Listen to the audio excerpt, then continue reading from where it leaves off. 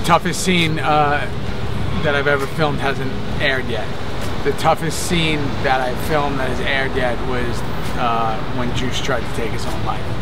That was uh, when you got to get in that mindset. It's it's crazy.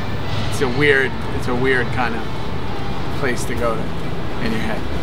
The hardest death to watch up until last year, I thought was uh, was Opie. It still kind of gets me, but man, being a part of the whole Tara death, you know, being there and, and being there the two nights that we filmed it with Gemma and the whole thing with the fork and the sink and that was rough. It was rough because Tara was like the you know the queen of the show in a way. So it was kind of a hard one to watch, mainly because I was so intimately involved in it. Uh, I think that it was inevitable you know, with the way it's built up over the six years. And I think that the final season is the, the final act, the way it plays out with, you know, the, the positions these people have put themselves in in their life.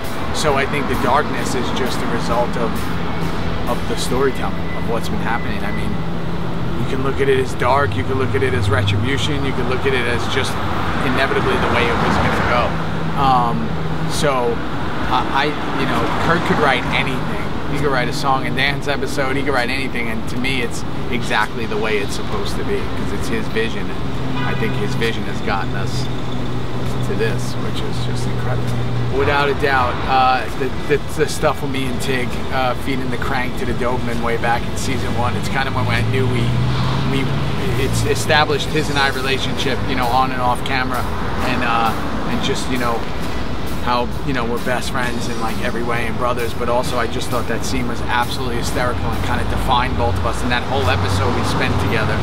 You know me feeding that crank to the dogs the dog biting him and then him telling me because uh, I say oh we should get close we should bond and he's like I'll dump my balls in your mouth. It was just a funny it was back when it was light and comedic and I've been in such a chaotic tailspin of darkness that sometimes you think about those with fond memories. So that that was a that was pretty interesting stuff.